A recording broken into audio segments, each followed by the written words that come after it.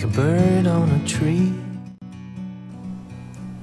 Hi everybody, this is Miss Brown and Feather and today we're going to be making some cool flowers and they're going to be blob flowers but it's for the kindergarten first and second grade. Just follow along and I think you'll have fun doing it. One thing you will need help with probably is either you can leave it to dry before we do some of the black line or you can um, have somebody help you dry it with a hair blower or something. Anyway, have fun.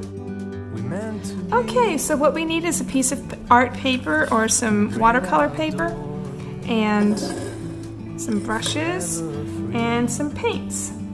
All I'm going to do is I'm going to take my uh, brush, it's kind of a medium sized brush, swirl it around in the purple, and I'm gonna add a lot of water because I want this to be a water blob. So here's my first one. I'm just making a nice circle there. And make them pretty big, don't make them too small. So here comes another one. Make another water blob. I think I want this one to be a little bigger and have them even touch each other. It's kind of cool. Then I'll make another one down here. Now you, I like to make groups of odd numbers like three or five. Sometimes I'll do two and four, but most of the time I like my numbers to be odd. So these are some odd numbers. This is three. Now I'm gonna wash my brush and wipe it off. Okay, and then I'm gonna get some green and the green is gonna be my leaves and my stem. So I'm gonna make my leaves kind of go like this. Not very complicated.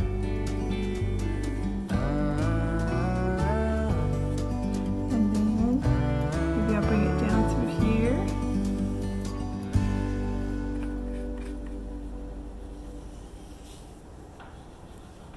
Bring some up. And you can do this as carefully or as messy as you want because it is going to be defined later with a marker.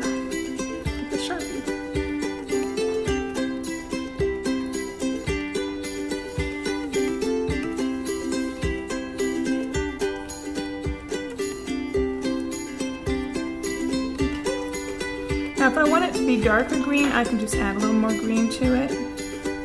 And I might just do that to the side of it. Like there's a little bit of a some light going on here. And there you go. Then I'm going to spatter paint it. So I'm going to take my uh, brush and I'm going to pick up some wet paint and another brush or pencil. Let me do a pencil. And then I'm to bang the pencil and get that paint all over it and just make a big spattery cool mess all over my picture.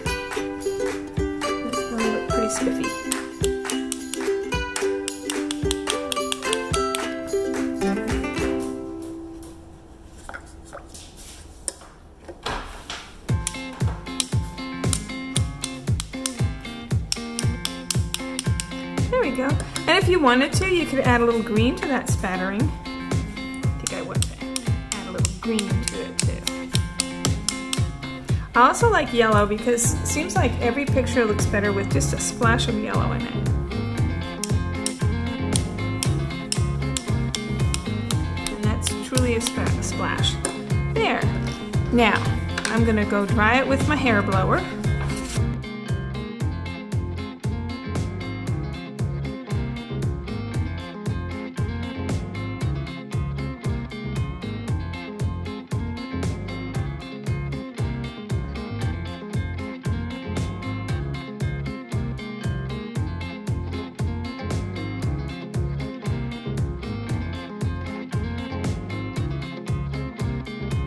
Okay, so now that I've got it dried, what I'm gonna do is I'm gonna take my black Sharpie. Now you can use the black Sharpie or you can use um, this black marker, either one. I like a Sharpie because it doesn't bleed. So I'm going to take and I'm going to draw around the flower. I'm going to start in the middle, very small, and then I'm going to make it bigger. And I'm going to go all the way out to the outside. See, I think I'll let it pass over that one. There. Now I'm going to do the same thing on the bottom part.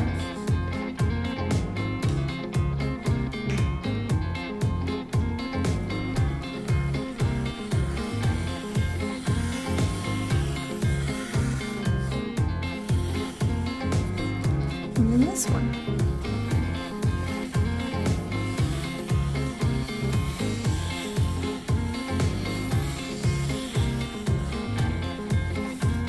Now I'm gonna make some leaves and it's gonna be kind of abstract looking.